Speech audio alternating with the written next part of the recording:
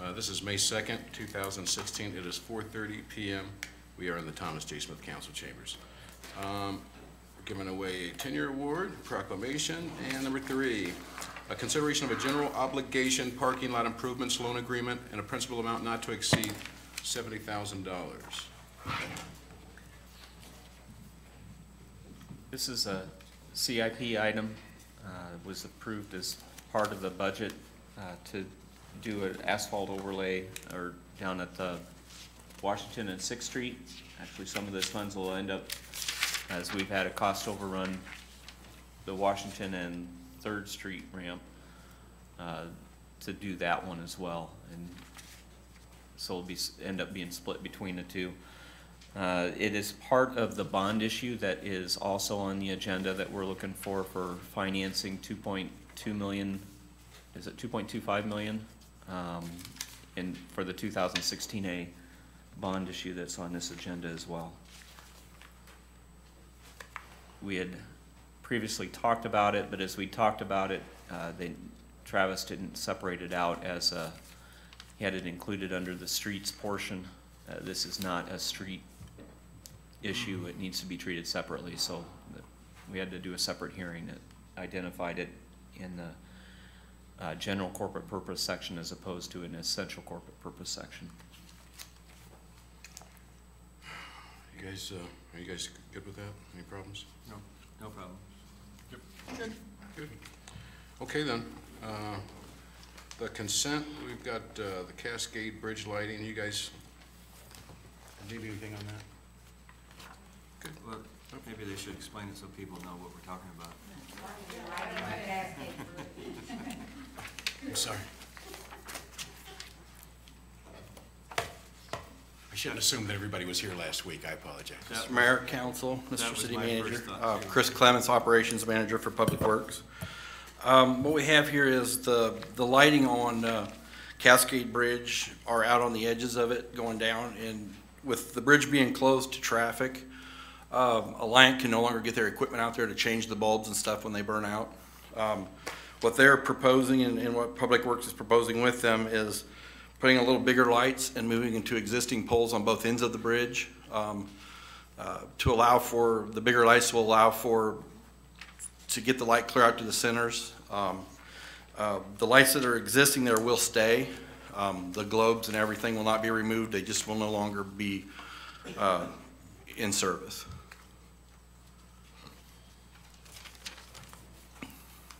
Good deal. You guys good? Thank you, Chris. So it's just a matter of a safety issue, it's not really for enhancing the beauty of the bridge or anything like that, correct? Yes. Okay. You did skip an item, the second, that resolution authorizing and approving the bond purchase agreements. Um, I did want to hand out something on that to you too. Please do. Didn't realize you were gonna allow me to cover both of them at one time.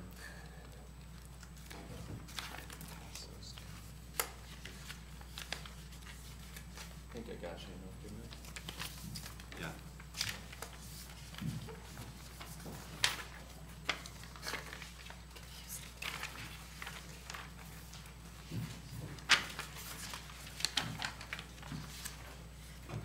What I wanted to get you on this was a savings analysis, and this is, has to do with more of the two thousand sixteen B.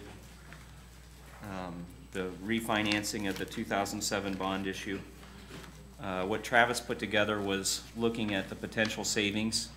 Um, on page one there, it looked at the existing bond payments, principal and interest that would occur over the life of that, uh, borrowing, uh, and then the new bond payments and the estimated savings. He's looking at about a hundred and seventeen thousand dollars in net savings to refinance. Um, And then he did some, taking a look at, when we do look at refundings, what are the, the standards for, are there enough savings to justify doing this or not? Um, Our the minimum, minimum present savings to have is in that three percent range, which would have to have about fifty-seven thousand. Um, and then they, there's a dis- a discussion about negative arbitrage, which has to do with uh, as you can potentially earn some interest in the meantime when you're doing an advance refunding, a year in advance. Um, There has to be a higher level of savings to justify uh, that to make in, in avoidance of arbitrage. And even at, with that, um, they're showing there that the, if we do do the savings, the potential interest earnings, what we're looking at over the next year, twelve thousand dollars versus the savings at a hundred and seventeen thousand, I think is a comparison that he's doing on that, uh, coming with that, uh, eleven percent figure. Um, the negative arbitrage is a percentage of present value savings. Um, The target, we don't have anything in our policy that addresses specifically that negative arbitrage measurement. Uh, Where communities that do have it, put it at a fifty percent negative arbitrage value, so we are well underneath that. If the, the arbitrage or the earnings that you would earn compared to the savings was more than half of, was, was more than half of the savings that you would have, they don't, it, it's not recommended to do the refinancing. We're nowhere near that threshold. All the analysis that, that, uh, we would do would justify moving, having a consideration of doing the refinancing at this point. Um, Again, the, the follow-up sheets are just giving you an idea of, the second, then page two is the new financing, um, and what we're looking for for principal and interest payments. And, uh, for your perusal, you can see the sources and uses of funds on the, on the following pages. Um, We figured that in, that's already been figured in to make sure that we can stay within our debt service, um, or what we have coming in for revenues into the debt service fund, uh, from property taxes and other sources, and maintain our existing debt levy. Um, These all work well within that, and actually we'll have a little bit of cushion, uh, as we move forward based off of the, doing the refinancing. And it doesn't extend the life of, Doesn't extend, the refinanced one does not extend the life, it's doing the same, uh, payment, repayment schedule. that's important. So anyway, the, the thing, this is, we had looked last year at, uh, whether to, to refinance the same bond issue. There was three percent savings at that time, there was not a five percent level. It was enough to justify consideration, but not enough to really say this is something that you, is a, a slam dunk that you do it now. Um, again, this is an advance refunding by a year. And as I was talking with Travis about where this stands right now, uh, the kind of movement that would have to occur over the course of the next year to have made it a bad deal to refinance now versus a year from now, if interest rates go up a quarter percent, twenty-five basis points, uh, that would have the type of movement in the refinancing uh, that we would uh, pretty much net out. And as a, even in the, the environment that we've had recently, in January, it was twenty-five basis points higher uh, for what the, was actually being seen in the bond market. We've come down by the, the equivalent of about twenty-five basis points in terms of financing just over the last couple of months. Um, You look at the rate environment for what the Fed is considering doing over the course of the next year, they're still in discussion about having two 25 basis points movements up over the course of the next year. There's no, there's nothing that's set in stone that that will happen, but there is good reason to believe that this is a, I mean, it's, it's just a good environment to go ahead and do the refinancing now as opposed to waiting. The email you sent us about the, the uh, ratings? Yes. Does that have an effect on this? Um, that's taken into account as he's looked at that, and that's, that is part of it. We did get a, uh, we haven't had a final rating yet, so that's not to be out there, That's a preliminary. yeah. When, when we, when do we get that final rating? I, I would assume that that would get published here in the next, next few days. Uh, They've, they've moved it forward to get it out there and published, but it hasn't happened yet. But regardless, we, we did stand in, in pretty good stead with this, this review process. Good deal. Are you guys, uh, you guys good? Saves money. We're good. I agree. All right, uh, next is uh, number two, a resolution authorizing cancellation of contract number 7042, an agreement between Burlington Urban Service and Hope Haven, Inc. for the leasing of vehicles as part of both system, uh, public transportation. Uh, Didn't sound like that, that arrangement didn't work out too good. Uh, that's a summary. Essentially, uh, in June of last year, we approved a three-year agreement between us and Hope Haven. It was hoped that it'd be a a win-win situation. Uh, Essentially, they were gonna pay us uh, uh, twelve hundred dollars per year. They were gonna take care of the fuel, we were gonna take care of uh, insurance and maintenance. And uh, it would, we were gonna be allowed to take the statistics that they had added to ours, which will help the STA and the FTA. That was in concept.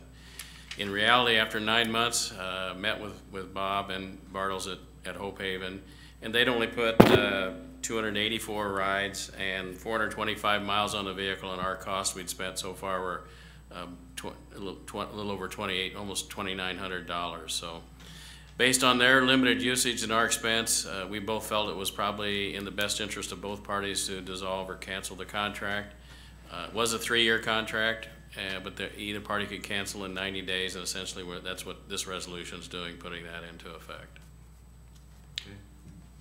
Well, again, that's too bad the partnership didn't work out, but uh, it's best to walk away well. We tried, I I don't think there was any need to continue, because we weren't going to make substantial, probably substantial progress. So, Thanks for ch- checking in on that, Steve. No. You guys good? Okay, uh, next is the resolution authorizing discharging weapons at eleven ten Agency Street, uh, for service purposes. It's, uh, Gun RX, who's, That, uh, we had a request from the owner of Gun RX, uh, Mike Roundtree, who's at eleven ten Agency Street, um, for permission to discharge weapons as part of his service and repair. He does, uh, service and repair firearms at this location. Uh, he has a federal firearms license to operate there. Um, and part of his, service or repair, um, is, would be checking to make sure the gun operates, uh, correctly after he does service on it. And um, so he would uh, fire into an appropriate indoor test fire chamber or shooting drum uh, the manufacturer's specs uh, to ensure his repair is done correctly. Um, And chapter fifty-one point oh nine of the city code does uh, state in order for anyone to discharge weapons uh, within the city limits, they require written consent of the city council. So that is why the resolution is before you is uh, permission for this licensed business to uh, do that uh, on a limited scope for his service business. well, I saw the words I wanted to see inside, so, uh, council. Uh, Does police department have any statement about this? or- No, thanks for asking, but Eric had checked with me and we discussed this in detail and, yeah, I'm, I'm very aware of these devices and how they work. We actually have one at the police department. We don't live fire into it, but when you clean our weapons, you have to pull the trigger. So we always make sure it's in the chamber when we pull the trigger and they're, they're specifically designed for test fire and that's what they're made for. So I was real comfortable with it as long as it's a manufactured device and not something, this homemade thing, so, yeah. yeah. Yeah, okay. Yep. Thank you, chief. You guys satisfied? Thank you, Mayor. Okay. Uh, Next, we have a resolution approving proposal by Automatic Systems Company of Ames, Iowa for dissolved air flotation DAF automatic project for the wastewater treatment plant. Hey. Um, This is not a budgeted item. I did not include in the memorandum that accompanied the resolution um, a point that uh, I should have made. In uh, the capital uh, list for 2015, we had a replacement of a Market Street lift station pump for just under $50,000. And that was during that budget year that we had determined that a higher priority was to do this upgrade for the DAF controls.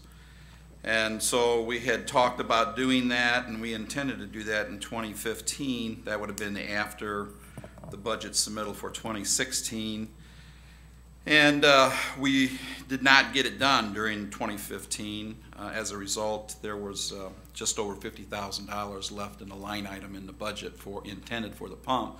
We didn't buy the pump, we didn't get this project done. Uh, We found that we had some additional work to do before the controls people could come in and automate the controls, which we've finished now, and we're just coming to council now with this desire to uh, pursue finishing the project that we had intended to do in 2015.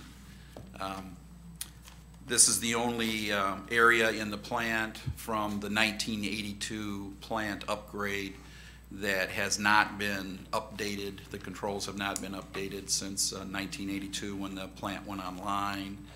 And uh, since that time, we've also not only updated the controls, but we've also incorporated a SCADA system, uh, supervisory control and data acquisition system, automating the facility, uh, making it easier for the on-duty operator to make adjustments of the various processes from virtually anywhere in the wastewater plant, except this particular area has not been done. The controls are over 30 years old. Uh, We haven't had significant problems with them, but we felt we needed to get this upgraded before we started to experience difficulties. And so we did get the proposal, which is attached to the uh, information, and it's for the amount of uh, $47,800. It would come out of the sewer fund. Sewer fund has adequate funds on hand to cover this cost. We did not seek bids or go out for bids. Uh, We're proposing to use Automatic Systems Company, which is the control uh, uh, company that has, was in at the ground level in 1982. Uh, They've been with us through the various uh, changes that we've made to the plant plant and the upgrades. Um, They basically put in the SCADA system for us and incorporated everything else into integrated controls from the various points, and we felt that they were uh, uniquely qualified to do this work for us, so. Questions? You guys good? Isn't it interesting the things we get to learn about sitting here? Interesting stuff. Yeah. Yeah, And according to Don, this is the most important stuff in the city, so. yes. We all agree with as long as the system works correctly. Right on, right on. Gotta have Doesn't- that, so If it doesn't work, then it becomes a problem. I'm I'm satisfied. Thank you, Don. All right, thank you. Okay, uh, next we have a resolution of support and financial commitment for the Main Street program in the city of Burlington, Iowa. Somebody brought this forward, I have no idea who, uh, but this is a, see here, this is a renewal of this um, arrangement that we have with Downtown Partners to run the Main Street program uh, for a period of two years. Uh, It's a continuation of the agreement that's been in place for how long, Steve? Thirty years. Thirty years. Um, If you notice in here, they have a, a requirements for maintaining uh, Steve's position to run the program. Um, It mentions we have a financial commitment to the program as well. Uh, We provide ten thousand annually to the downtown partners as. It's and been fifteen thousand dollars annually 15? since. Oh, you're gonna since- have an increase? this Since year? two thousand five. Okay, and that comes under, I think in Eric's budget is where we plug that in. Yeah. Thank you, Eric. That sounds like a plug for an increase. I've tried to Anytime, anytime. decrease it, but, Yeah, this is, um, as Jim said, this is a biennial th- contract between Main Street, Iowa, Downtown Partners, and the city. Uh, it's, we've been doing it, it's been a good arrangement over the, over the Yeah. years, and. Steve, Item five here says maintain an office in the designated boundaries of, a- is- are, we're okay? We do that? yep. Yeah, River Park Place is actually the northernmost building It is in, in- in downtown, yeah. Well, I got my question answered. I just need to have it uh, mention how much our, our support was Yeah, because it financially. doesn't say it in, anywhere in the resolution or the agreement, but. Yeah, yeah, the state really doesn't need to see a dollar amount there. Okay. You guys good? Do you know how long, you said two thousand five, so. that- Yeah, was the last time, yeah, I think it's, I think one year for some reason it was twenty-five thousand, but it's all, otherwise it's always been fifteen thousand. Okay. And that was like in two thousand three, I think. Okay. Yeah. Thank you, Steve. You guys Thank good? Jim. All right, uh, we've got some, uh, public hearings set. Uh, first one is consideration of plans and specifications for the two thousand sixteen Cascade Watershed Sewer Separation Project, Phase Two.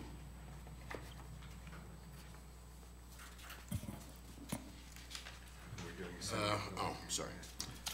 Uh, the, the next is, uh, consideration of the budget amendment number one for 2015-16.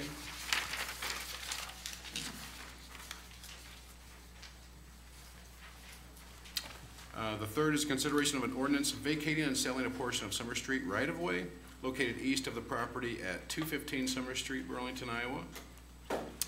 And uh, the last one is a consideration of an ordinance vacating and selling a portion of South 14th Street right-of-way located west of the property at 1412 Hillary Avenue, Burlington, Iowa.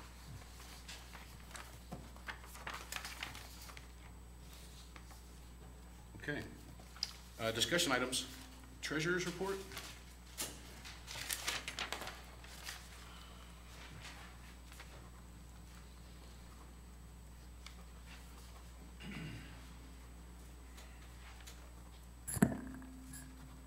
So included in the packet was March's treasurer's report.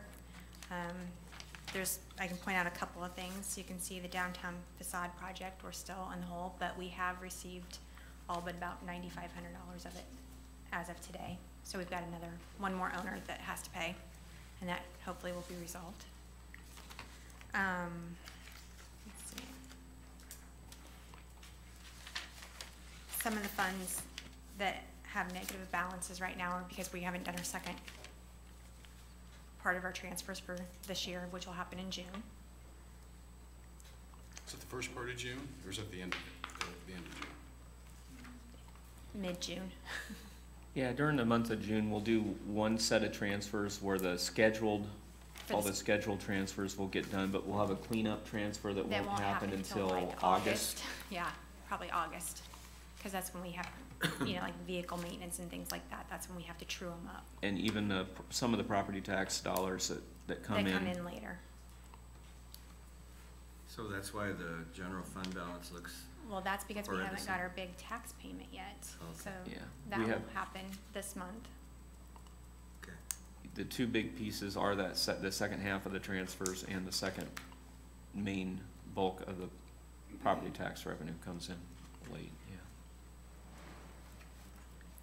The ones that, the funds that, uh, that I would note, and she was mentioned in the facade, is an ongoing project that's on the negative side. Massel is a project that shows a negative balance, and I, We're gonna transfer from road use. That's what, not road use. no, no. I think that comes out of the Cascade cash Oh, yeah, balance. you're right, yes, we're gonna transfer from, because we didn't do the Cascade project. We transfer, had more in there than what we need. Um, and like, the other ones that we've been running deficits in, the recplex and all those, they're always gonna be behind for a little while longer, for a few more years, till we get them all caught up. Yeah. Um, and then like in capital projects, we're gonna have an internal loan for that Flint Hills Manor deficit. That's gonna be a TIF loan.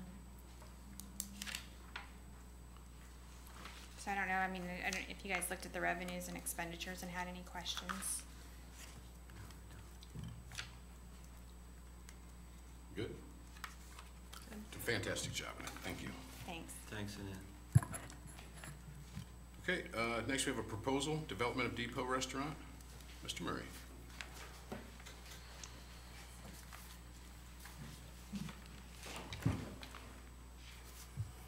Matthew Murray, 2050 Highland Avenue here in Burlington. They may bring some handouts up to council. Please. I brought visuals. All right. There's two of them here, a little oversized, but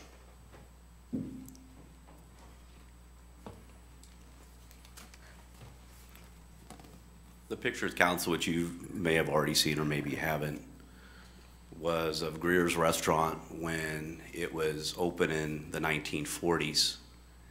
And this uh, is the vision that we have for restoring Greer's back to its original look and to its original glory.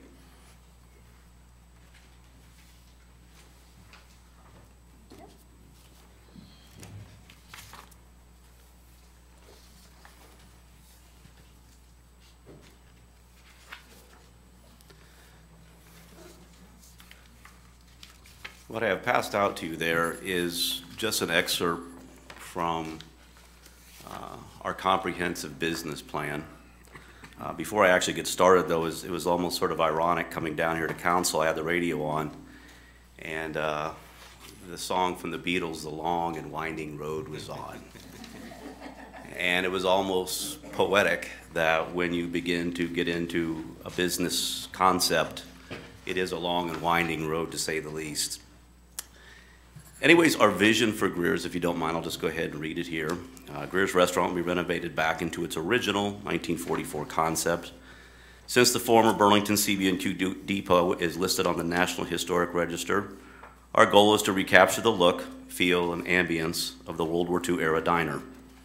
Using original 1943 architectural blueprints from Holabird and Root, the long counter with the horseshoe end will be reconstructed to exact historical specifications using black granite, laminate, wood walnut trim accents, and glass. 17 squared base counter stools with green seats and backs will be installed in the exact location of the originals.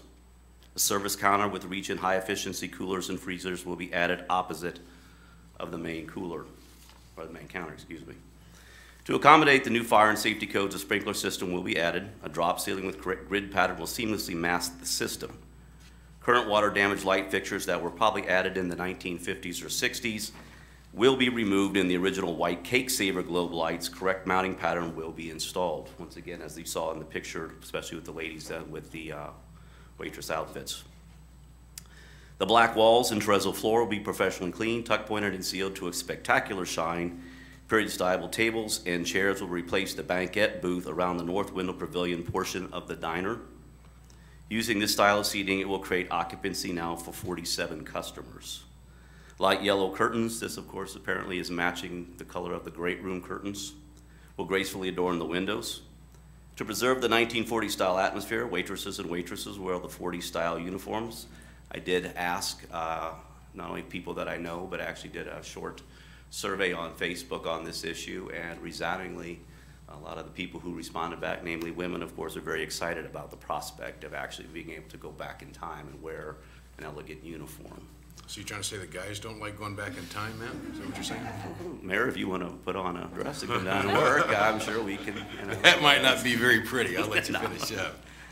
Um, since television was not a part of the 1940s dining experience, TVs will be omitted, but music will be played, but there, of course, will be Wi-Fi for our guests. Something different, though, that the original concept did not have is that we will offer outdoor seasonal seating around the north portion of the pavilion. The sidewalk will replace and widen to accommodate six round four tabletops with umbrellas. Outdoor dinos will get an unparalleled view, unparalleled view of the sprawling depot grounds, CB and Q Baldwin locomotive, historic downtown Burlington skyline, Great River Bridge, and a bird's eye view for the, for the train watching enthusiasts. I include our mission statement down here for our business, re- recognizing a diversity of customers' tastes and nutritional needs. Our meals will be carefully prepared using only quality, preferably local ingredients, to ensure that each customer receives prompt, friendly, and courteous service, to thank each guest for the opportunity to serve them, to maintain a clean, comfortable, and well-maintained premise for our customers and staff. By maintaining these objectives, we shall be assured of the fair profit that allow us to contribute to the community we serve. Just made a short list of things why we sort of feel uh, that Burlington needs Greer's.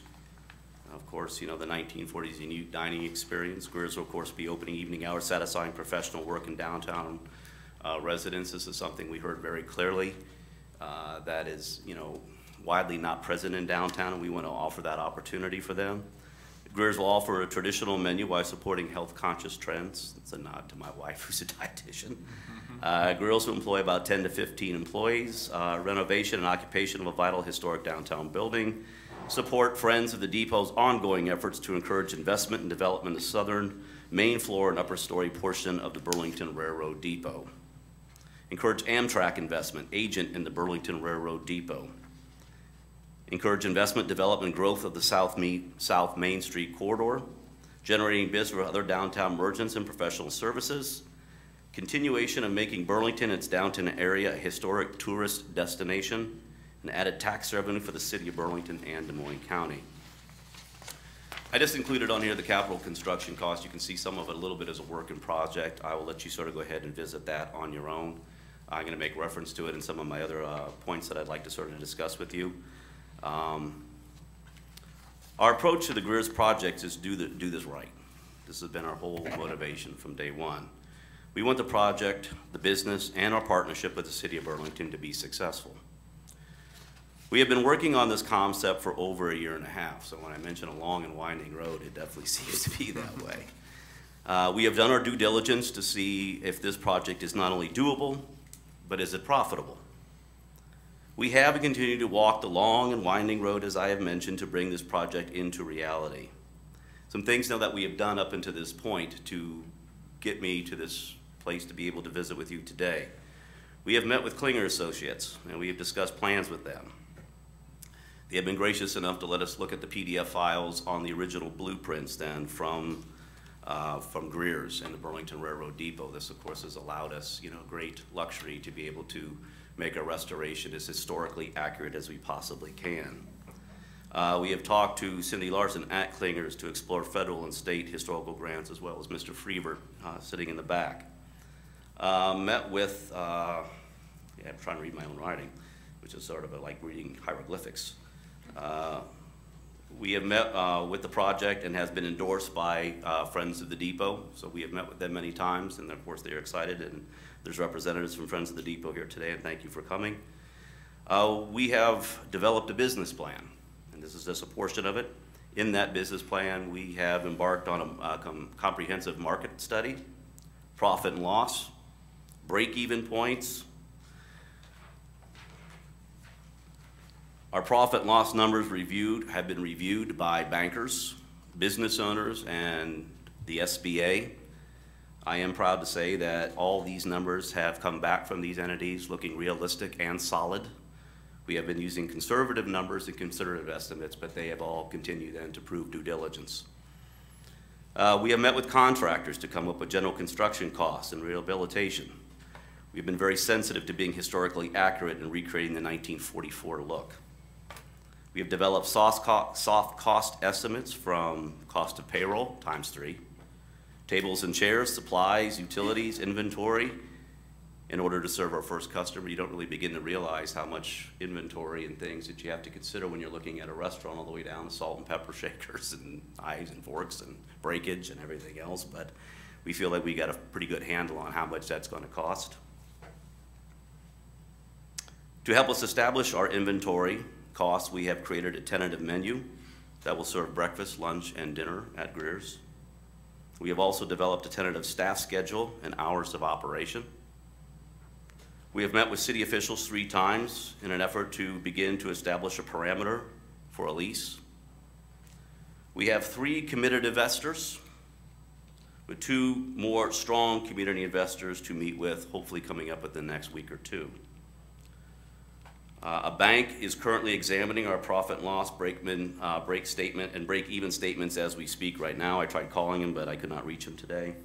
Uh, This, is, of course, is once again to see, you know, once again, how profitable the bank is think it's going to be, and at the same time, any, uh, hopefully advice that they may give us to make those numbers even sing a little bit better. We have detained legal counsel to register trademark for the business name federal and state tax ID numbers, and establish then all the things that need to go into creating then Greer's as an LLC. Council, definitely we have moved down the process quite a bit. We are not at the beginning, we are not at the end, but somewhere in the middle. We have crossed the Rubicon, and we are committed to reopening Greer's at the Burlington Railroad Depot. In order to put all this together, I'd like to have the council Consider and grant us a first right to develop contract for Greer's. We would like to have uh, from May 1st to October 1st to work through and finalize remaining re- aspects of this project. We are hoping to have this done, of course, sooner than later, but you never know what might happen in between now and then. And of course, you know, some of the ongoing work right now that is going on with the Great Room uh, needs to be timed. And so we want to make sure that our work is not impeding on their work, but yet actually trying to be, you know, cooperative with what's going on down there now. We would also like council to consider a lease arrangement that reflects and encourages private investment into the city-owned property. We will soon, of course, be presenting then uh, the staff with our, our lease proposal, including boilerplate uh, proposals that we do believe are important. And so, council, I'd like to thank you very much for this opportunity to meet with you this afternoon and to give us our vision of Greer's Restaurant. I would like to thank Jim and his staff up to this point, has been outstanding to work with, from members of the city coming down and unlocking the building sometimes on a moment's notice so we can have someone take a look at it. Uh, It is greatly appreciated, and I'll answer any questions that you may have. Uh, Could you elaborate on that lease agreement? I think I missed something. On the lease agreement? Yeah. Well, we are hoping at this particular point, since we are investing, you know, a sizable amount of uh, private dollars in it, that, that, as I mentioned, it will, it will, the lease and, or the agreement of the lease will reflect then an encouragement to allow the investment. You know, the actual details of that is something that we need to still work out. Uh, But one of the things, though, that we would like to see happen, though, is the ability for us to recoup then our costs. I mean, when you're looking close to a quarter of a million dollars to open the doors to this business, you know, investing private money into a public facility, you know, like any business, you want to try to ensure its best possibility to success. And so we certainly hope then that we can reach an agreement with the city then to accomplish those goals. We have worked a lit, a little bit with trying to come up with what are some common area costs, what are some just basic cost to, to have that area developed? What, it- what was, what do we need to have for, uh, in an ideal world, uh, what would be a going rate for the space itself, then plus the lease cost for, uh, having access to the common areas and maintaining, uh, the restrooms, et cetera, in, in, in the great room. Um, just to get an idea of where under, if we had a, a facility white boxed, meaning we had a, a good space uh, set up that they would then finish off, what would you see for uh, typical lease terms? Well, we're not asking for typical lease terms. We've kind of talked with, with them. Uh, we don't have the funds to, to bring that facility up to uh, what would be considered traditional white box standards. We're, we've, we're already investing a lot of capital into getting the, the great room uh, improved, getting the roof fixed, et cetera, uh, through the, the current grant. Um, We don't have additional capital set aside to do additional improvements. That being in mind, if they had the ability to look at finishing off that space, uh, we would, we've talked with them about the idea that we would give them favorable lease terms. Well, what do those mean? Well, we don't know. Uh, we don't know what the costs are that they'd have to do to take on to do some additional improvements beyond, um, just the, the finishing off of the space. How much work are they gonna have to do on our behalf? Uh, when we have that, we can kind of look at what are some different factors based off of length of time, uh, an extended lease term, to, to figure out, figure out what, how to give them credit for, um, their capital improvements on our behalf. Is, it trying to figure out, are we doing, you know, for example, is it a thousand dollar a month credit that we're giving for five years? Is it five hundred for ten years? Uh, We just haven't figured that out, and until we know what the dollar amount is that they're having to capitalize, that should really be our, technically, the building owner's, um, responsibility. What are we trying to cover? Uh, but those are details that we're, we're still trying to work on as we move forward, and they're getting some of the final cost estimates is really kind of necessary before we know what those terms should look like. Yeah, in that packet, uh, Mr. Fennell, that I did uh, include, like I said, the construction costs. And, you know, the, the costs that were, were there were, you know, under the graces of contractors coming down and giving us what they would consider maybe a high-end bid because there were certain things, for instance, like plumbing. You know, at the time, there was water under there and no one had the ability to get down there, and same with electrical. So they were looking at worst-case scenario, uh, if they got down there to see what happens. Uh, you'll see, of course, in there, there's a few areas in there that say, you know, a general contractor. Um, we have met with the general contractor on the great room and just had a tentative conversation with them, but nothing specific as of yet.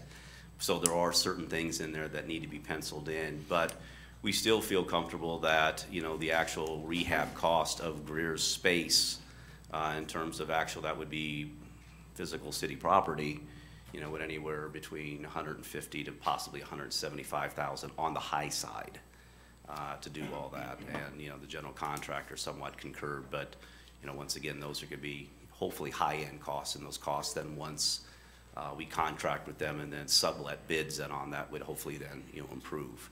You know, considering there might be some shared work that's going on there right now that, you know, will not only benefit, you know, the whole depot project, but benefit our project and its cost as well. Right. So part of this lease agreement would have to be, um, five years down the road, you decide it's not working, what happens to all these improvements that, They resort to the citizens of Burlington. yeah, that's, that's quite a commitment. So Yeah. we feel the project's worth it. Yeah. We feel our community's worth it. You know, and this is why we're, you know, looking at this particular project in particular because, uh, you know, the depot project to me, uh, is the next logical renovation step, you know, that's been going on in downtown Burlington. I mean, the Capitol Theater was, was outstanding. Uh, this needs to be next. And we're just excited to be a part of it and looking forward to working with council and staff, you know, to bring this to reality. So, the only other thing, I guess, that, that is coming up is the, uh, the first rights, May, May first to August. What's, so what's the deal on that? Essentially, um, what's being asked for is, is that if we're, we're agreeing, we'd be agreeing not to allow another developer to come in and we wouldn't consider an offer from another developer in the meantime for that space. Um, That, to me, isn't, it doesn't do us any harm. We haven't had a bunch of developers knocking down our door trying to get this done. Are you saying we're insane? And really, there, there aren't gonna be too many opportunities to have this occur. Um, Having someone who has a strong vision is gonna be required to have something occur here, cause I don't wanna put us into a position where we're uh, out additional finan- financially to make it happen. I mean, there may be a spot where the council wants to do that, but we're not in a position where that's part of our CIP, that's not part of what's been expressed to try to get accomplished, um, as, as a priority project. There may be a spot in the future where you would, would change and, and want to have that happen, and, um, we'll, we'll, that's up to you as a group to, if that becomes a different vision for what you want to see happen within the community, it, it changes the dynamics. But at, at this point, we don't have funds that we can commit to doing this, and, you know, it's hard for them as a developer, because they're being then asked to, to take the risk on some capital, upfront capital costs on the, the facility itself. We're, we can talk about giving them favorable lease terms, but we don't want to back the debt at the same time. Right. So it, it's, it's a stretch. Okay. So, but regar- regardless, I would say from, I would think that it, it makes sense if you had, if you think this looks like a good project, to give them that kind of right through, through October first to, to be the, the, the entity that we're working with to, to see about getting that development to occur.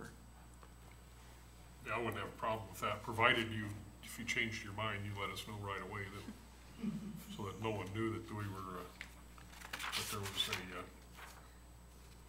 uh, if someone else stepped forward, uh, that, uh, we can let them know they can move ahead right away if, if your plans changed or fell apart, whatever. Oh, you know, Mr. Scott, we definitely would. I just sort of said right now, though, by coming to talk to you today, it's like we've walked up the ladder to the high dive. We've walked out on the board, And by now coming here publicly speaking about this, we've jumped off. We're just hoping there's a lot of water under there when we hit, so. I like the idea, that's for sure. I think it'll be really neat if it, if it's able to come to life. So, so obviously we don't, then nobody has a problem then with the, uh, because the, the first, that's, uh, that's gonna be on Sunday. Yeah, that's okay. Okay. No, I was just thinking in regards to the next meeting, but, uh, okay. You're, Maybe it's I a don't day, know if- If that, it's the May first, if it's a Sunday, Reverend, then I maybe don't- you can pray for us on that day, so. I most certainly will. I don't know that you need a formal arrangement, um, just that you would express that you're not going to be encouraging offers from other entities between now and October one. Um, Or was it, Oct- I thought. I- I had, Between May one August. and Oc, It's October. it- I, I wrote wrote down May first, October. October first. Um, and the other part of it, you know, the, I can't remember what we s- shot to you, that we kind of worked, Steve put a lot of time into working on what would, what it would take to, uh, what would be a, a, a good, uh, lease arrangement based off of this comparable spaces, the amount of space that's there, what the, um, maintenance of the common space would be. Um, we've, we've gotten that to the, to you to take a look at, but then what are we, what would we look at for, uh, making, uh, offsets to that based off of the capital that you'd be fronting? We haven't had those discussions, but that's something that we'd, if we could come to some sort of an arrangement that, that looked favorable to all parties, we'd bring that forward to the council to, to consider, and it would be something where we'd be offsetting, uh, lease payments bec- reflective to the capital investment they're doing on the property. As long as that makes sense to y'all. Yeah, makes sense to me. Matt, I, uh, is there a way to separate, how do you, um, separate the great room from your, from Greer's? Is there a security door or a wall of some kind, or how does that work? Uh, I mean, there is like interior doors, you know, from the space, so I mean, actually Greer's was, you know, really set up to be self-contained within its own. Yeah, see, that was my question. Okay, You know. the other point, uh, maybe you can answer this. Uh, You, you said you hope there's a lot of water under there, but is there still water under there? There is Yeah, I wasn't referring to the depot, just my there is metaphor. water in the, in the basement, actually. That's something that is different from what I think you're probably concerned about, but Yes. Yeah, I, I understand that, but I, you know. You know, one of the things that we've been dealing with has been uh, this, the stormwater that leaves that facility and crosses over to the, to the river. Uh, That line has not been functioning appropriately, and we've worked with, Public, Public Works has worked with BNSF. um, uh, I think the engineering department has come up with a tentative solution for how to address the water issues there. Uh, It will not be a cheap one. It'll be, uh, I think that, I don't know if we had a neighborhood cost on that. One fifty? Um, that we'd agreed to take care of, but that would address all, it would be running a, a new, uh, stormwater line. It would take the stormwater from there, uh, to the north. Uh, we have another spot that the water crosses up, uh, in a neighborhood of Main Street. Um, immediately north of there, uh, tying into that crossing and, and using that one. And it solves, an- one of the issues it solves is it it, it eliminates one crossing point of the BNSF. And I think there's a lot of value. It's not functioning anyway, we can't find where it crosses. Uh, we've had a lot of difficulties trying to figure that out. Um, one of the things that we talked with, uh, for, with, with BNSF in regards to this, um, we feel that there's probably a level of responsibility they have for it not functioning appropriately now. We also talked about, um, doggone it, what's the angular arch sewer? Uh, the repair that they did down there on, on that sewer. Um, we talked about doing a, an offset with th- those two separate projects, uh, where we took care of dealing with this project, they took responsibility for the angular arch sewer.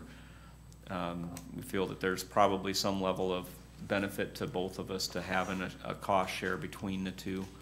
Uh, their project on the angular arch sewer was in the one twenty range, is that right? They claim one sixty, I think. They claim one sixty. I've heard a couple different numbers.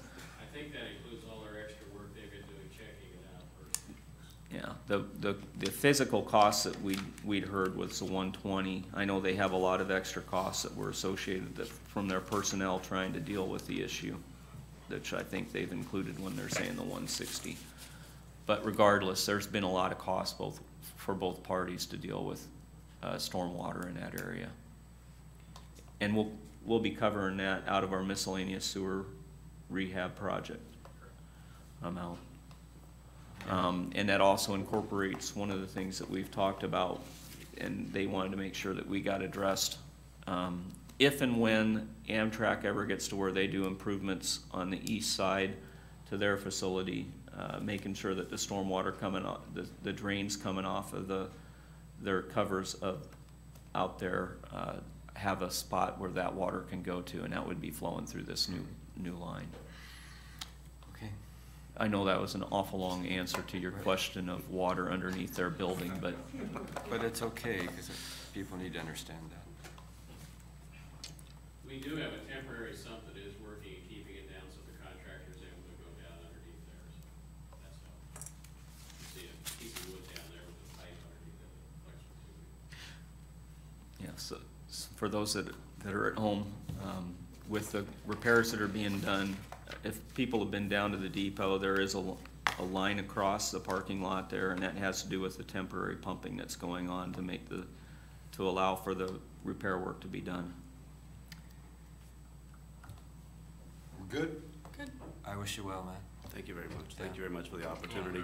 And then, Mr. Ferneau, if it's all right, I can go ahead and I'll leave those pictures there, so after the meeting, if members of the audience want to take a look Sure. at them, it'd be okay to come up here tomorrow then and pick them up?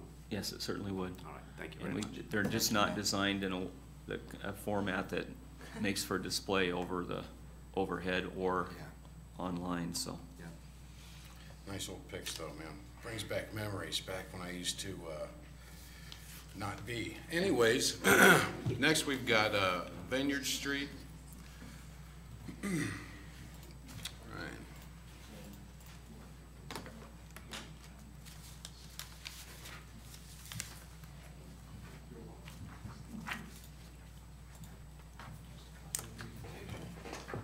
Thank you.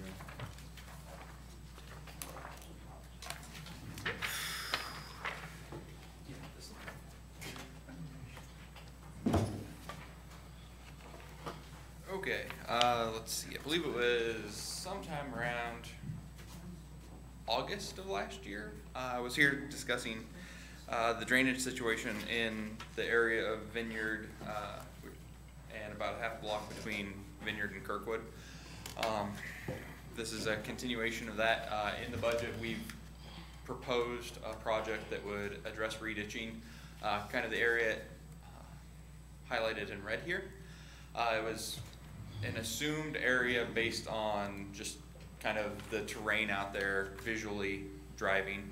Uh, no topographic survey's been done, no design work's been done to kind of nail down those costs. So there might have been a little bit of sticker shock with that, and that's for good reason. Uh, it's a fairly large project, but not, um, hopefully costs would be fairly below that. It's, the costs are more con- conceptual level, so hopefully design plus plus thirty percent, something like that. So when you run into other problems, you've got the money there already, instead of going back going, uh-oh. So, okay, this is our area in question, like I said, it's, uh, about a half block north of Kirkwood, uh, Vineyard and the side streets there. Let's see, there've been numerous complaints through the year, it's a, years, it's a very flat area of town. Uh, ditches that are there filled in over time due to lack of maintenance. Um, last year, we received particular complaints and a petition wanting to address an open storm pipe near twenty-two sixteen Vineyard, uh, the ditch depth and, uh, driveway culvert complaints. Um, like I said, twenty-two sixteen Vineyard, uh, has complained to Public Works uh, a number of times over a number of years, a number of different staff members, uh, about the ditch situation out there and culverts. Um, and then also he's expressed interest in having the city extend the storm sewer and fill in the ditch in front of his property. Uh, there was also a petition from the residents, as I said, in twenty fifteen to improve the drainage in this area. Uh, At that time, the concerns voiced by the residents were safety of an open pipe, which we have addressed. Um, There was a set of crossbars installed to help prevent access. Small pipe, probably not a big concern, but this takes another step to prevent entry by uh, small people, uh, kids outside. Uh, Depth of I like how you said that, entry by small people. Well, little people. Sorry, just, all right, go I have a little tyke at home that crawls. I'm Were you talking not- about me? I am afraid you're not that small. At the depth of the ditch near Vineyard and Shields, uh, that pipe was in between twenty-two sixteen and, forgive me, I don't know the neighbor's address. Theoretically, it'd be twenty-two eighteen, I guess. Um, don't know if that's. the- What's that? I think they skipped there, I think it goes to twenty. Okay. Say strange things like that happen in town. Twenty-two sixteen and twenty-two twenty. Um, there's that in that outlet pipe, I guess. Um, the road ditch there's deeper in that area. Uh, for the situation, it's not. It's not a big safety concern, but it is closer to the road than I, is ideal for the depth of the ditch. Um, and as such, uh, we addressed it by installing edge of road markers so that, particularly during like snow events when the ditch is full, uh, that people aren't aware that that's where the ditch is. Uh, now they know that that's the edge of the road. And then the condition of the ditches, uh, they're shallow, they don't drain well. Um, can't see this very well, but this is the open storm pipe before. Uh, you can see that it just had an opening, this is the location. And you can't see it very well, but there is a vertical and a horizontal bar across the end of that now. Uh, it's a fifteen inch, uh, reinforced concrete pipe that, by the time you break that down, that's approximately a seven by seven square. Uh, nobody's fitting through that. Uh, the ditch depth at Vineyard and Shields, like I said, the depth's not ideal, but it's acceptable, for its location to the road. And then we did install delineators to improve the safety. And forgive me, I, I know we've been through most of this in the past, uh, Councilwoman Wilson wasn't here at the time. Uh, if there's something you would like me to skip through, just let me know. If you have questions as we go, let me know. Uh, the conditions in the ditches, uh, the neighborhood's flat, uh, due to the terrain, the ditches were probably not substantial to begin with. Um, uh, they haven't been maintained for a number of years, uh, staffing and funding was limited and maintenance was cut, and that was somewhere around 20, 30 years ago. I mean, and so they've, ditches have actually held up fairly well over time with the minimal to no maintenance that they've received. Um, Culverts under driveways have not been maintained by city, uh, by property owners, which is required in city code. Uh, you can see out there that most of the culverts are half full or completely buried. Um, and then parking in the ditches has made things worse. Uh, it's seal coat streets, so there's not a curb. Uh, people are able to just pull off the edge of the road and the ditches are right next to the road. So end up getting ruts over time, creates obstructions in the ditch. Uh, here's some pictures of the ditch conditions. Uh, Hayes Court, or not Court, uh, but Hayes, you can see uh, is basically non-existent on both sides of the road. And we have other places in town where it's a similar situation where the ditches are basically non-existent, but the neighborhoods aren't flat, so the water continues to drain. Kenilworth, Kenilworth rather, it's mostly the same situation, better condition on the west side. Uh, this is the east side of the road. There's, you can still see that there was at least one point in time a ditch there. Uh, Shields, same situation. You can see remnants of ditches, but nothing substantial. Uh, this is section of city code indicating that driveway culverts are to be maintained by property owners, uh, that, that driveway serves. Uh, and then kind of the reality of the situation as discussed last year is the ditches are beyond maintenance. Uh, it's a matter where a project is gonna have to occur, whether it's done by city forces or by, uh, city contract. that reestablishes those ditches if anything's going to be done to the ditches. Um, and if that occurs, there are a few trees in the right of way that are gonna need to be removed. Uh, some of these trees are substantial and you'll be likely to hear, uh, concerns from residents in the neighborhood and they'd be understandable concerns. Uh, if it's a, done as a project in-house, we'll design the ditches to try and preserve as many trees as possible, but the goal of the project would be to actually improve the drainage there. Um, if, I know at least on I believe it's Shields, there's a catawba tree that is right smack dab in the middle of the ditch. The property owner would be thrilled to have that thing go away also, so it'd be a benefit to everybody. Um, and then the drainage will improve, uh, but due to the terrain, uh, and the existing shallow outlet, um, the improvement could be limited. Uh, like I said, we haven't done a survey yet there to determine what the improvement could be. Um, until we knew that we, there was a project to proceed with, uh, we don't do the preliminary, uh, design work. See, that's where I'm, that's where I have a little problem, is, uh, you know, how, how much of an improvement, you know, it says it could be limited, well, how limited? Because, uh, our, our finances is kind of the same way, so, you know, I mean, I'll be honest with you. I've, I mean, I've been with the city for eight years. This was developed back in the 30s, I believe it was, um, 30s to 50s time range. I don't know what those ditches looked like years ago, um, but I know that the situation there doesn't see the recurring flooding that we see now. Um, I didn't get the pictures from Steve to put in here, but we've received photos of just the streets completely underwater. Uh, I'm guessing you guys have seen them too, in particular the uh, south, it'd be the southwest side of Shields, well, near that outlet where it fills, backs up, and then it just flows over the street to that outlet.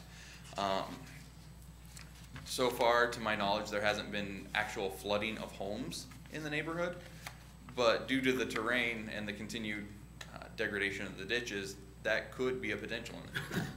Um, that I know that it's costly, the project, and that the improvement may not be your ideal situation. We might not be able to handle that hundred-year storm or something like that, but these regular flooding events won't be occurring. Um, will it be perfect? No. Would there be an improvement? Yes. Uh, and like I said, without proceeding with design, I can't tell you how deep those ditches we can actually make, what the improvements actually are gonna be. Um, that's one thing that we could proceed with. Uh, and like I said, the project's been budgeted, we could proceed with design. um, And that could be implemented over time. Uh, The project, if you didn't wanna expend the entire amount this year, we could stage it through few small projects. Ultimately, you're gonna see the overall cost of the project be more uh, if we were to let the contract. Is, is there a way that we could, because I would definitely be up for that, of looking at the worst area, looking at the worst spot over there and, and doing an area to see, well, I don't know, but that, that's just a thought, just to see how much of a, much of a difference, but I mean, I guess, I understand where you're coming from, and actually. yeah, I know, I just heard myself say it. Well, it's a reasonable question to ask. Uh, the problem with addressing the worst spot is water flows downhill. So you have to m- make sure that water can get there, so you work from the outlet up. So, um, and then the reality of the situation continued, sorry. Uh, with the project, culverts would have to be replaced and the driveways over the top of those. Uh, by city code, culverts are the responsibility of the property owner. Uh, we would be pursuing assessment unless the council desired otherwise of property owners for the replacement of those culverts. Uh, through the budget that was proposed, we were doing a cost share, uh, where the city would cover approximately fifty percent of that cost. And, well, exactly fifty percent. Uh, and the homeowners would cover the other half of the culverts. Uh, and then, depending on how the design goes, we do have wide right-of-way there, so we could push the ditches a little bit further away from the road towards homes. Uh, there will be some benefits, some detriment to that. People perceive less, uh, front yard, but they would be able to maintain a little bit of on-street parking. Uh, otherwise, uh, parking would have to be prohibited to maintain ditches over time. And then here's the concept cost estimate. Uh, total project without engineering was estimated to be about two hundred and fifty-one thousand. Um, in red here's highlighted the private culverts and the driveway replacement. Uh, that total is about eighty-six thousand dollars. Um, and so either eighty-six thousand of that could go to property owners as per city code, or we could do, like I said, cost share with them, fifty percent, which brings that total cost of the project down some. Uh, the estimate was based on, I believe it's actually two and a half feet, not three foot deep ditch along both sides of Vineyard and the north half of each street towards Vineyard. Um, actual project limits would be determined based on, uh, what our survey finds. Um, I believe that our project area actually goes, our concept area goes a little bit, bit further west than is necessary. Uh, so we'd see some savings there too. Um,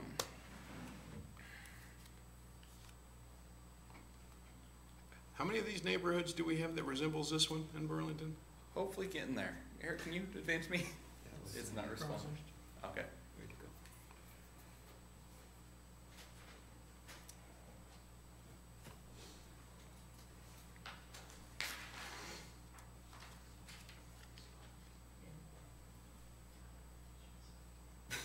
Okay, well,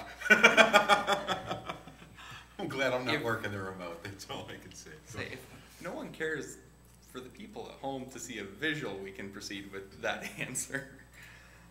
Because that's actually the very next slide. There we go. Okay, this is not exhaustive. It's exhausting, but not exhaustive. You you guys are killing me. Ah, the joys of technology. Right back to it. Way to go, Eric. Okay, there we go. Okay, so this is not exhaustive. There are just numerous locations in town where there is no curb and gutter. There's uh, ditches some places. Some places never had ditches. Uh, it all depends on the terrain. In particular, off the top of my head, we were able to come up with about seven total areas, including Vineyard. Uh, up by Lennox and those side streets near Hope Haven, um, Cliff and Baumberger, south of uh, Sunnyside. There's a large area there. It's a steeper area.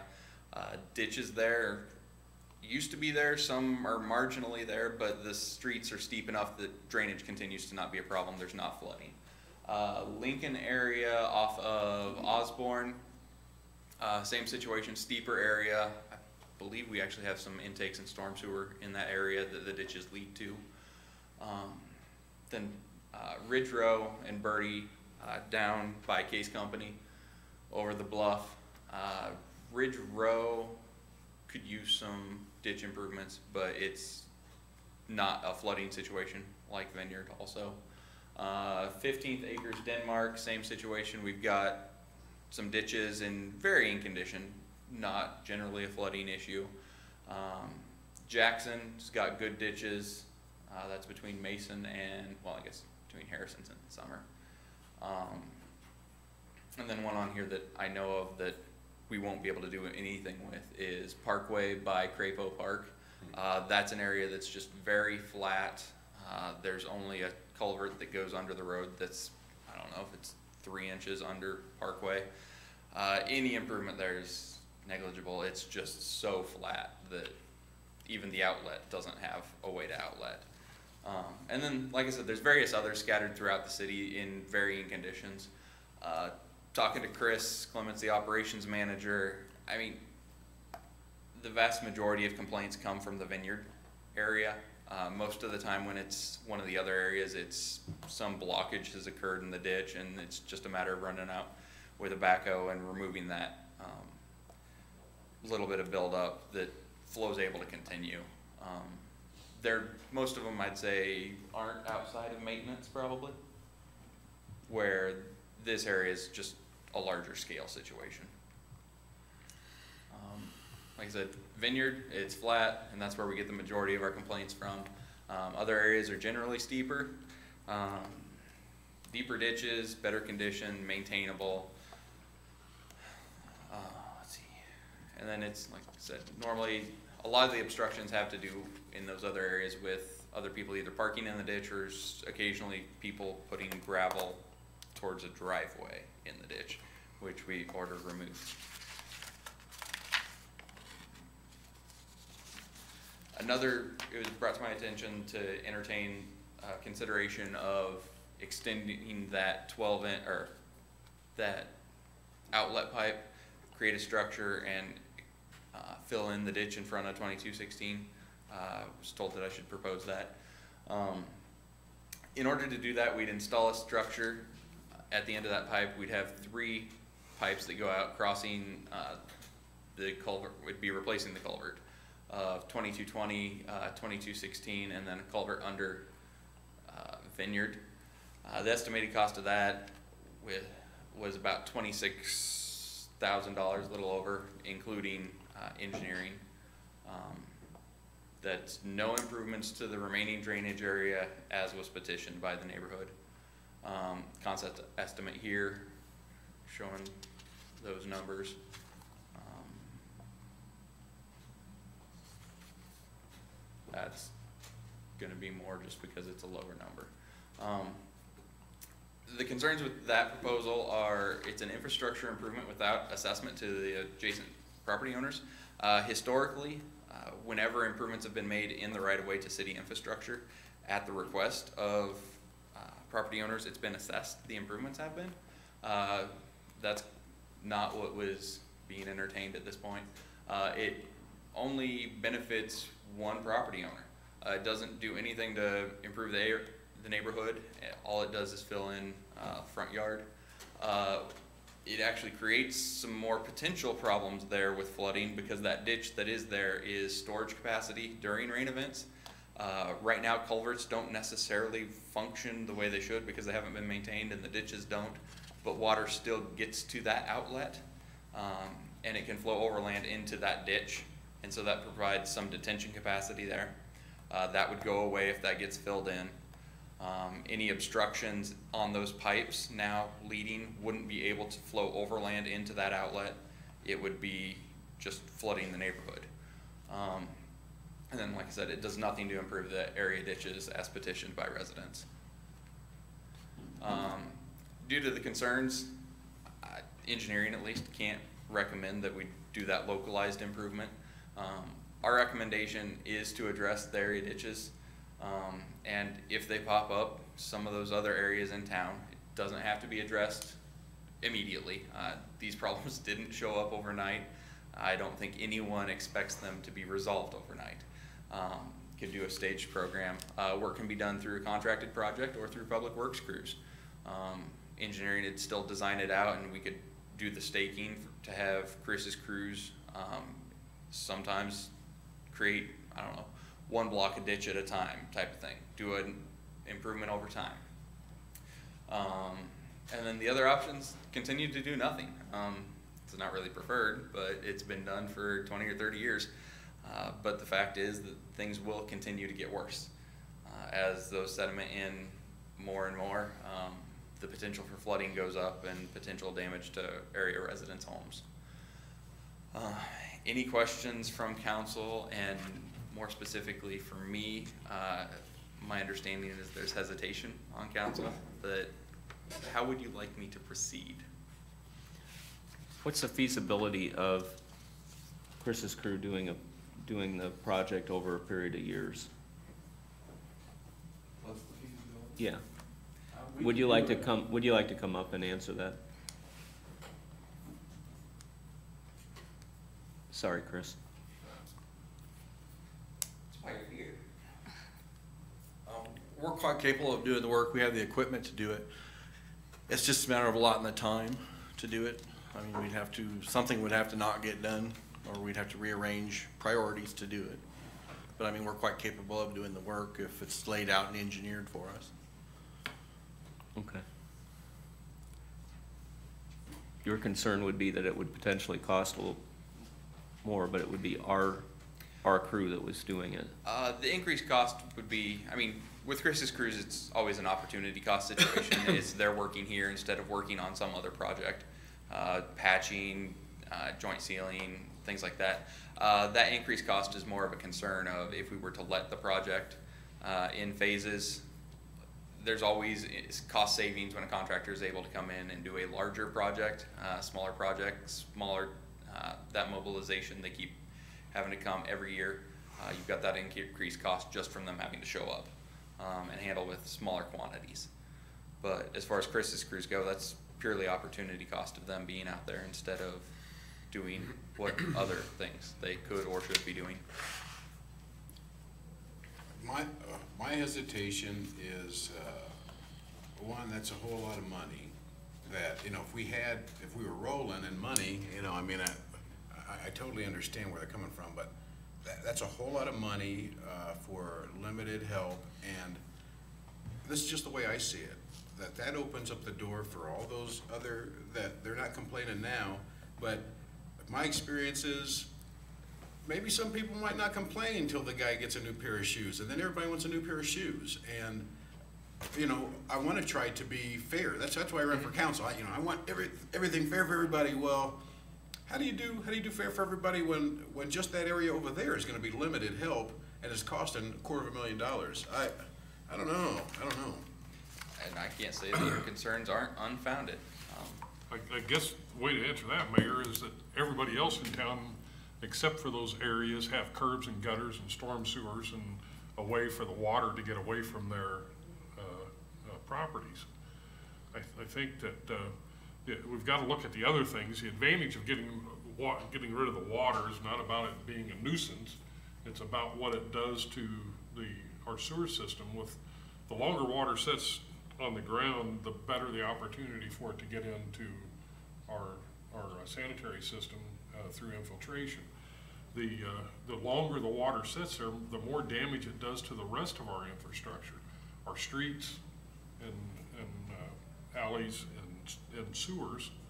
The, the longer that that water sits there, the more damage it does to the, to the rest of the infrastructure around. Everybody in town is paying stormwater utility fees. And we just increase those fees, but we're not providing any kind of stormwater, uh, maintenance for that particular neighborhood. And it's, it's not something that the neighborhood's done, it's, it's something that the city has felt to do over the years.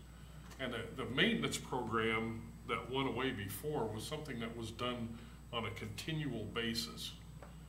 I, it doesn't really need to be done on a continual basis. It's, you go in there, you take care of the, of the thing, and then you go back two or three years later and you kind of dress it up a little bit. Um, and, uh, so that it continues to work. And it's the same thing you would do, that you do for storm sewers and, and gutters and the like. My neighborhood was one of those that was pictured up there. My block doesn't have that issue anymore. I, what, what my block had was right in front of my house, there was water even in the driest part of summer because it was, the lowest part was right in front of my house. They quit taking care of that, uh, of the, of the, uh, ditches, so that water had no way of, of getting out of there. So it was constantly, I was having to step over water.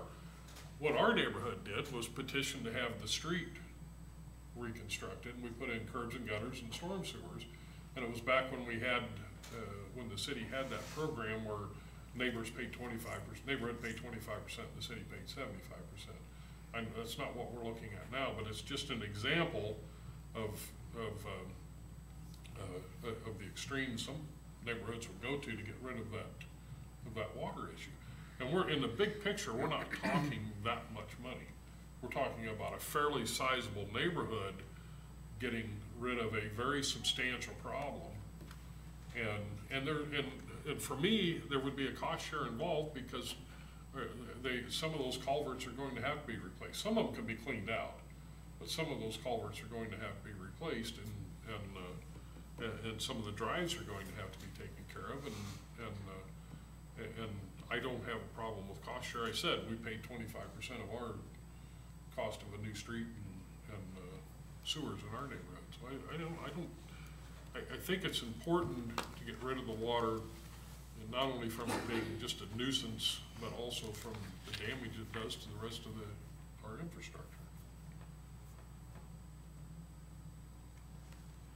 I was one of the ones that raised a concern about spending that much money in a, in a limited neighborhood.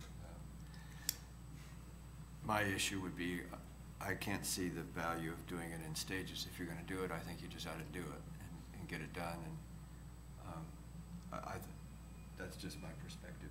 I, I don't see how stages works, uh, but I would say the biggest value in doing it in stages would be if Chris's crews were to address it. Um, I think if we are doing it as a let project, that doing it all at once would be the most beneficial to the be- city. That would be my preference, yeah. I had the same concerns as the mayor did with uh, spending that much money in one neighborhood and, and where do we go, the next neighborhood, the next neighborhood, but, um, I, I think that can be swayed. Well, and we could always proceed with design, um, That would be important, I, I would like and we that. can narrow down what those costs are. Um, it's one of those things that something does eventually need to happen there. Uh, whether it's now, five years from now, ten years from now, Right. something will eventually have to be done. Um, we could proceed with that design and come back with some more solid numbers and this would be a project that would be constructed in, uh, calendar year seventeen. Um, still in this fiscal year, uh, but next spring. I would certainly like to see that, I can't see approving this, just I can't, pig the uh, poke more or less.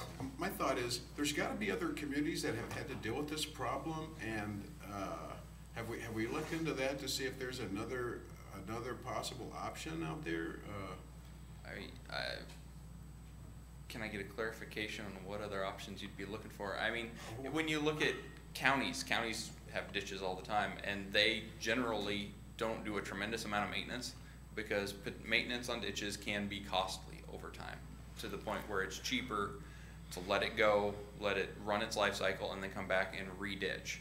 Um, county I used to live in was Van Buren County, uh, poor county, uh, and that's how they addressed ditches was it's not a problem until it's a problem, and then they came through and fixed it. Uh, some of it was staged, some of it was they saved up over course of three, four years, and then came through and did a big project. Um, the options are basically either re-ditch or install storm sewer in the area. Um, the advantage of ditches are it does provide detention capacity, uh, so you can have a smaller outlet pipe ultimately than you would if you had to do a storm sewer. Uh, that fifteen inch outlet near, um, twenty-two sixteen, uh, would probably have to be upsized to something larger if we were to install storm sewer.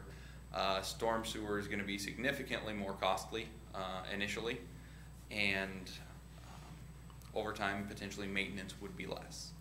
But it's gonna be significantly more costly up front. and then with the streets being seal coat in the neighborhood, uh, you're still gonna have some sort of ditching, uh, to get the water to any intakes and storm system that is there. So unless we're gonna go through and reconstruct all the streets through there, uh, is kind of the option we're looking at, unless you wanna talk really large numbers. You're just, you're just full of, uh, Bad news, yeah. I was gonna say Every- wisdom tonight. I was- Oh, well, say wisdom. every time I come here, it costs money. It's true. In the, Normally, it's good things, but this is, I mean, and this will be a good thing. Ultimately, it would improve the situation in the neighborhood. It may not be perfect, but the situation would be improved. In the grand scheme of things, it's not a lot of money for dealing with a stormwater issue for a neighborhood this size. We just got done talking about a potential hundred and fifty thousand dollar expenditure to deal with Yeah, the this- stormwater issue down at the depot. Correct. Well, As we- We're talking pretty heavily about spending twenty-six point two million dollars on, to, uh, stop the floodwaters uh, down on the riverfront. We've Yeah, got but they're another, making us talk about that twenty-six point two, you know, I mean, it wasn't like we signed No, up to we can do the that. same thing that, the last recommendation that he had, and that is to ignore that too, and, um, I mean, no one's forcing us to, to, uh, do that. It's not like the, they're forcing us to do the, Yeah, right. do the, uh, separation. Uh, and, John, s- I'm sorry. John Bowden's here from twenty-two sixteen Vineyard. Um, would, can he say a couple of things see John, but I don't mind, he's the, he's the catalyst behind this deal. Good evening. Um, Ryan had a lot of good ideas, and, and I agree with a lot of the things he said. And um, I just wanted to say that Vineyard Street, when I first moved there in 1970, was a quiet neighborhood. But the city has allowed a large commercial base at the very end of Vineyard. I mean, you have Winegard Factory, you got Pizzazz, you got the casino, you got Autumn Heights, Intricate Builders, and a daycare center. So, because of that, there are hundred and fifty thousand cars a year traveling past my house. 500 cars a day. So, although some people do park on the lawns all over town, a lot of this comes from damage of the storm sewers, comes from if you meet a bus, the city buses run down that street 10 times a day, even though it's not a bus route. So if you've got a bus coming down there and you've got a truck coming down there, both of them move over, it's only 18 feet wide the street. So that means both of them, or at least one of them, is over in the lawns in the storm sewer ditches. And that happens five hundred times, or two hundred times a day, every day. Now, the culverts that run underneath the streets on all the intersecting streets of Vineyard, and that's Hayes and Shield, not Shields, Shields is still good. Hayes and Kenilworth and a whole bunch of them down there. The ones that run underneath the street are all squashed off on the end. So absolutely no water can go underneath those. Now, at my particular place, and I've done a little elevation study, and Shield Street Alley, which is almost across the street from me, is about twelve feet higher than my next door neighbor's property. Twelve inches or twelve? Twelve feet. That alley is really high. So you know what that means? Water runs downhill. Now, what's happened right now is two things. Um, there is no, the culvert that runs underneath Shields Alley is all squashed over, so no water can run there. So it all builds up right there, running off of the alley, runs across the street, and it tries to go underneath the driveway culverts into the big ditch where it should go. But since the ditches haven't been cleaned out, the culvert that runs underneath my driveway is still in good shape, but half of it is covered up with silt. So no, not much water can run. So that means the water builds up over here and runs all over my neighbor's lawn and his driveway when it rains hard. Now, part of that problem is that when his house was built and his driveway was built, was around 1950, 55. The road base was much lower then than it is now. So that building up of the road base increases that problem. Can, can you just, uh, I just need for you to just answer one question if you can. Sure. Uh, uh, uh, during the, during the, uh, uh, rainy seasons, uh, what, what percentage of the, t- what percentage would you say that there's flooding, uh, uh, in your, in your area, in your? Well, if we, the last couple of years, of course, we've had more rain than maybe we normally have, but, um, every time it rains, if you get an inch of rain, it floods. Every time? It floods across the street, yeah. Now, one thing I did want to mention about Ryan's thing is that, uh, when he mentioned about the, the large culvert there, if they covered that all up, you know?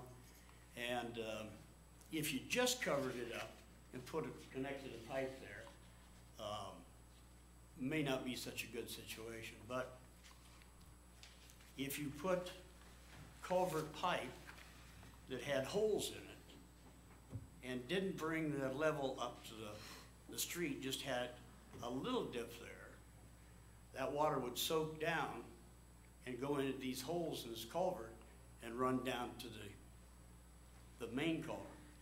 If you covered that up and put a grate on top of it, then any water that flooded off the street would go down that grate, down into the storm sewer, pre- preventing overflowing there. Um, I like the idea of the cost sharing of if you're going to do uh, underneath the driveway. You know, I think that's a good idea, even though the city installed those as part of their storm sewer. And now they don't claim them. You know, and that gets to be kind of a problem with me.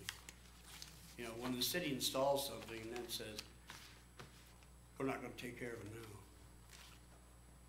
The neighborhood really needs a lot of work and, and like the petition said last year, you know, we're really not asking for curbs and gutters and underground, a few maybe undergrounds in front of my house, but we're not asking for that. We're just asking for like a, uh, a five-year plan to come out and regrade the ditches and fix the ones that go underneath the streets that are all squashed off on the ends, or fix the ones that go underneath the alleys that are all squashed off. We need to be directing that water to where we want it to go. Mr. Bowden, I sure appreciate you. uh, Thank you. I appreciate Thanks, you coming up. Thank you so much. Uh, Uh, John does bring up one interesting, or not really interesting, but one point of clarification. Uh, Our intent with this isn't just ditches and addressing uh, private culverts. Uh, The city's culverts under the streets would also be addressed uh, at- with the reditching and culverts under alleys. So just if there's any confusion on that, get that clarified. Any other questions you guys have for Ryan? or- I can't make a decision until you come back with some numbers. So Okay. that's what I would suggest we authorize him to do, is It'd be nice get to have started on it. For the overall area. Yeah. Okay. Um, present workload will be probably get that surveyed mid-summer, come back with a design hopefully by October, November. Uh, and if you guys, uh, if the council wishes at that point to proceed with the project, we'd proceed with a letting, um, uh, with construction next spring. You don't have anything else going on, do you? No, we're not busy or anything. Um, and to answer someone's question that I'm sure is thinking about it, Division Street will hopefully be paved this week. Thank you. It's looking good, man. They were You're- really jamming on that. Um, the Thanks intent that. is, the contractor will be paving those middle two lanes, uh, tomorrow and Wednesday, weather permitting. Uh, there's some manhole box outs that'll have to be addressed after that, and I think we've got one ADA ramp that needs to be constructed. So hopefully, end of the week, into next week, that project should be all wrapped up. Yeah. Um, the other project I know that's on at least one council member's mind, uh, the Cascade, uh, sanitary sewer extension. Uh, things are not quite wrapping up, but we're very near connecting all the sanitary together. Uh, there will be some cleanup, and we've got at least one change order to address, um, the parks office lateral. Uh, doesn't go down where everyone thought it did, um, so we need to figure out how to get it into the new sanitary sewer instead of sending that down to the river. Um, Any other questions for council Okay. since I'm up here? Thanks for covering all that, Ryan. Actually, you're, you have several projects that you're working on, uh, design work on, and Yeah. I don't have any clue where you're at on different pieces of it, but I know you're just started design work on Agency Street. Uh, yeah, survey's been completed. Christian has started, uh, getting that topographic survey drawn up. Um, And that's on the west side. That is GE west of portion. Highway sixty-one, uh, between West Burlington Avenue and sixty-one, the concrete up there.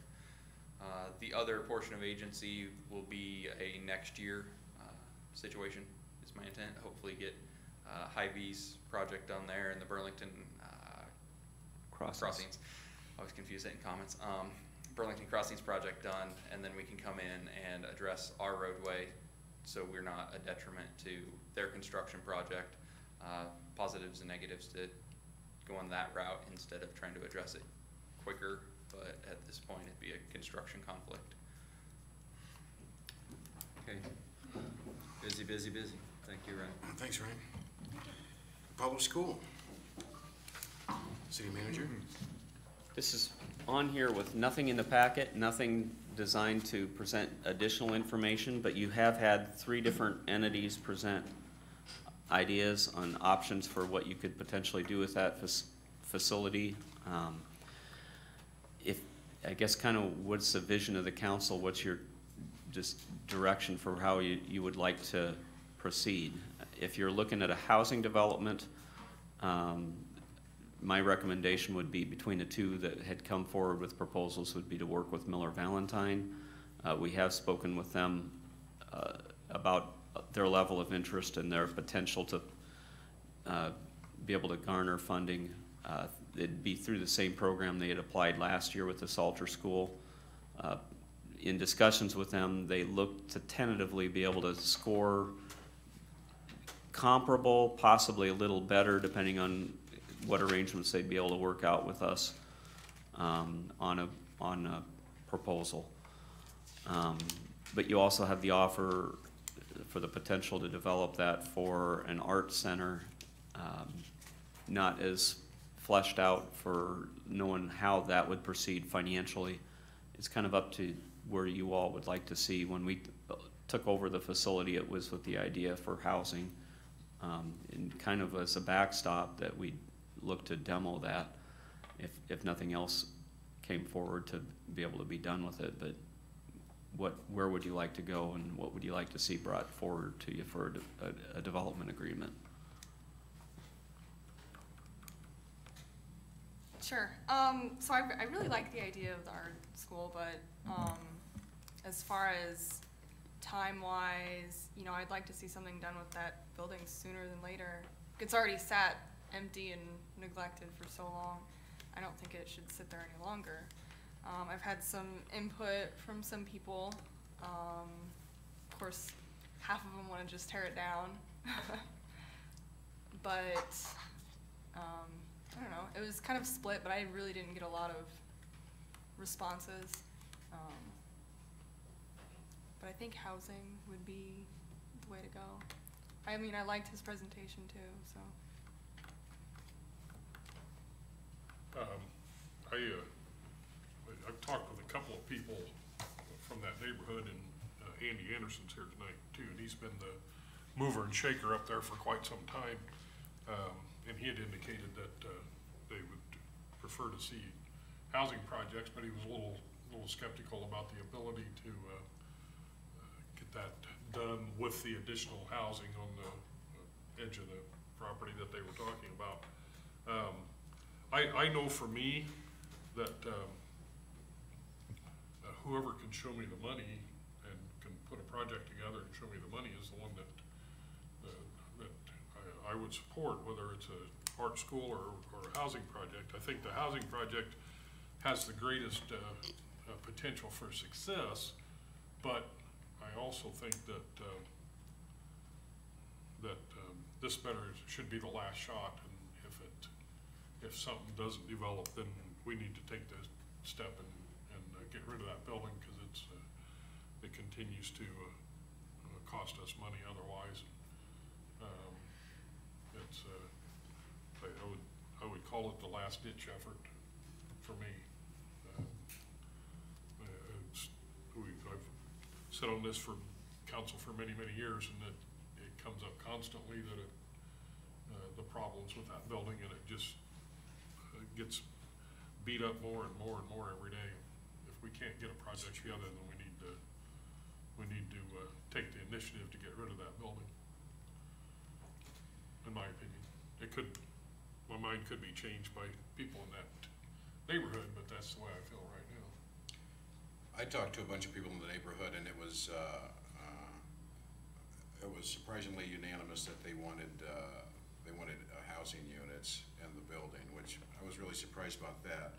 Um, I know the developers, I know that they've done this before, you know, and uh, um, they're really serious about it, and um, my thought is, I think this building needs to get developed so we don't have to tear it down, and I wanna go with the person or the group that has the best chance of doing it. I think the developers, uh, from out of town that wanna make, uh, housing units, I think they've got the best chance, just because that's what they do, they've got the experience there. And, uh, uh, for the young lady that wanted to do the art school, um, we've got some other buildings that I think would, uh, could, uh, could work out for something like that, so, I'm gonna have to say, as much as I, as much as I would love to have seen something like that, I think would be cool. Um, I think for Burlington, we're better off using that building for, for housing units. And come down to me, I gotta agree with all the three of you.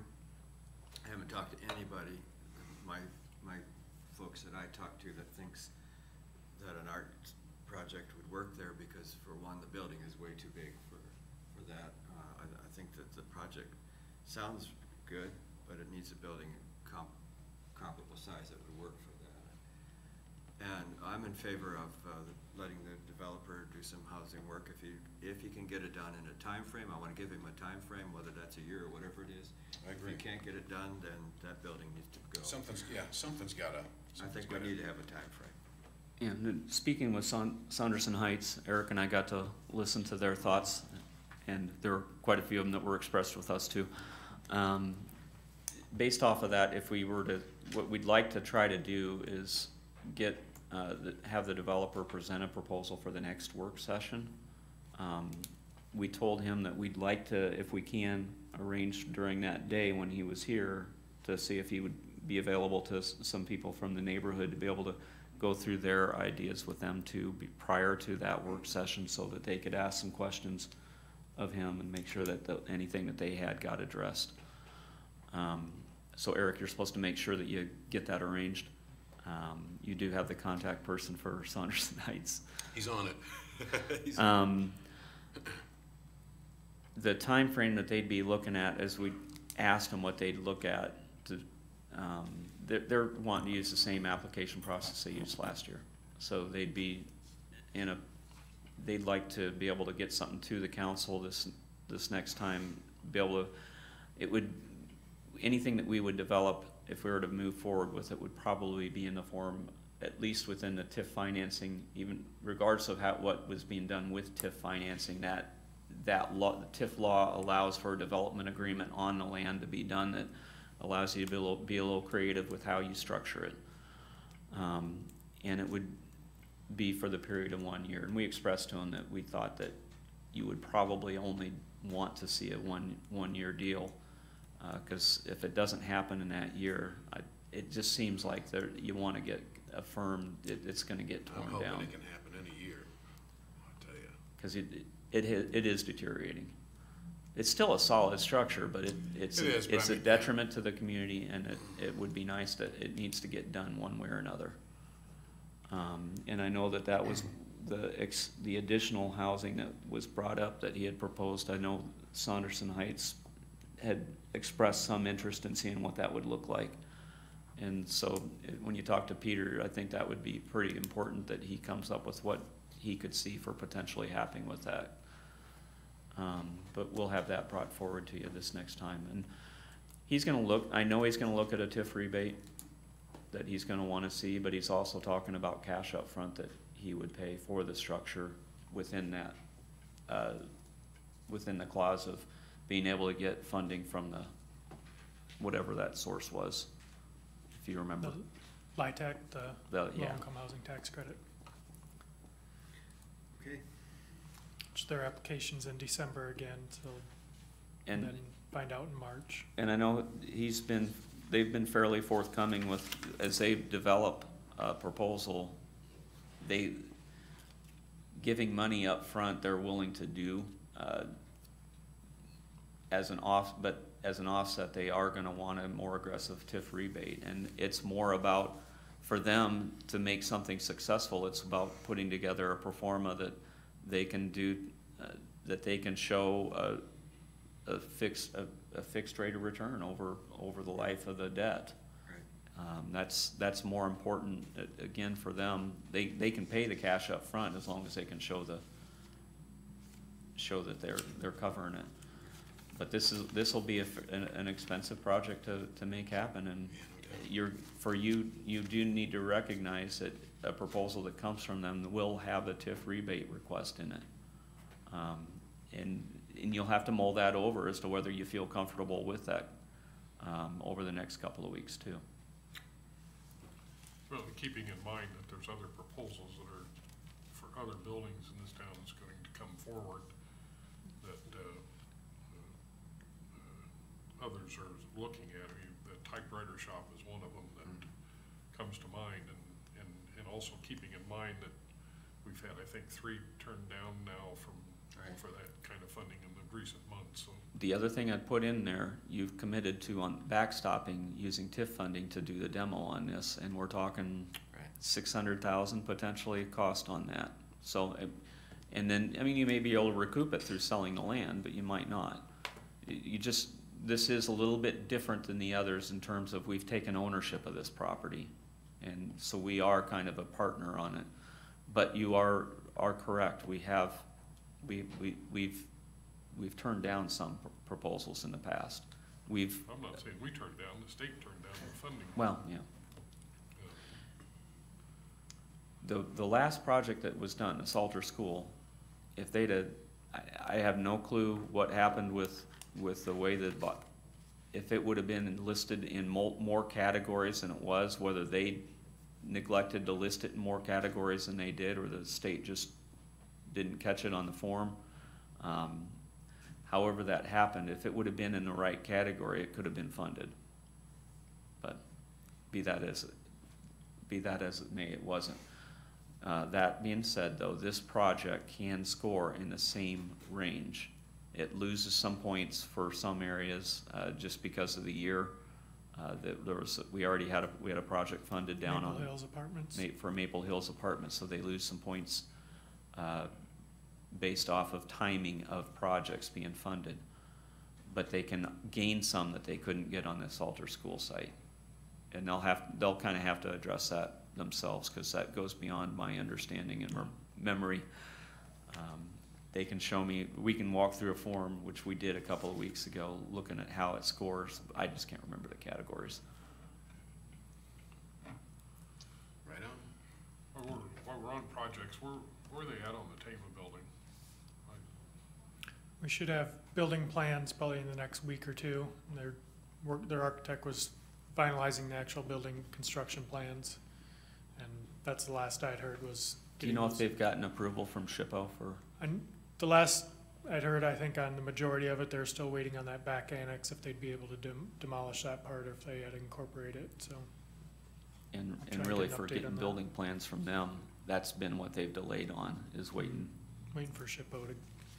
Cause their, their ideal would be to demo that, that interior piece in the back, or on the north side in the, on the alleyway.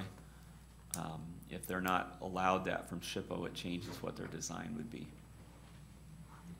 And his is the best word. I- You guys good? It's, it's not the answer we wanna be able to give. We'd like to be able to say what we, that there's a definite time where it's moving forward. Well, it's, their- all their equipment was gone and Yeah. the fence is still up, that's why.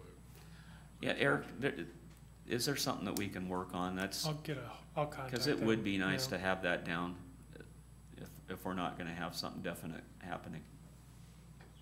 Especially by Friday. Especially what? Especially by Friday. Yes. There's the, sip, yeah, sip, taste, and stroll.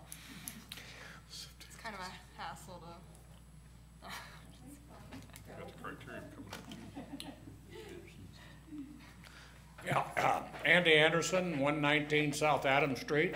Uh, As uh, the city manager pointed out, him and Eric were up at our neighborhood association meeting, and I think they got a pretty good uh, drift of what the neighborhood's interested in. And I'll tell you, it's fine to talk about art centers and all that, but that's a pretty big elephant up there. And it's gonna take an awful lot of grant money, and I'm not sure somebody can get that. We are interested, if we can, and it works out, that you do look at these two outfits that are talking about doing something with the current building. And the one we really like is the one where they're talking about doing some infrastructure with housing around that. Now, is that gonna be feasible? I'm not sure. But all done and said, we have had all kinds of people promise they're gonna do something with that building, and all it's been is a tax write-off for people out in California, New York, Indiana, you name it. And uh, I think sooner or later, if we can't get any uh, interest in doing something up there, then we need to tear it down. And the bottom line is, I don't know if to defray the cost, there's a lot of people went to Burlington, or went to Apollo High School, Burlington High School, and might be interested in buying a brick, you know, and these kind of things, so. I know that's not gonna cover the cost of the demolition, but, you know, every little bit helps, But so. if we gotta tear with it down, that- by gosh, we're gonna sell some bricks, and, and. with, with that, I appreciate that you are looking into this. We appreciate the city has gotten sincere about acquiring the building. So hopefully, if you can't get it sold to somebody, maybe it has to be demolished. I would think that would be a beautiful view up there on top of that hill. Might have to do some work with the neighborhood right around there, but someplace, you know. And uh, I'll tell you, I lived out in the country. And I like living in the city. I like living in the city of Burlington. And it's convenient to get to the hospitals, which older folks gotta do. We like to go downtown. You can walk down there, you walk down to Steamboat Days or whatever. So, anyway, thank you.